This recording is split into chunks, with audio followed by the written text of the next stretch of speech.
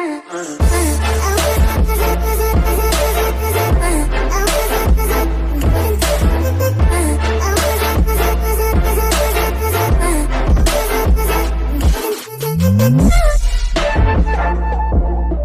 Hey guys, how are you today? I hope you are doing well. So then let me know in the comment section. And today I'm back with another interesting part of Unique Quirk Izuku Yagu Yagi. Uh, this is related to Demon Slayer. I already told you in the first part, and this is first pa- second part. Then you and you can check out our channel for the first part, and I will provide the playlist link in the description. And uh, so let's get started with the video. Make sure to like the video and subscribe to the channel. Press the bell icon for the latest notification. Till then, take care. Bye bye, and see you guys in the next video.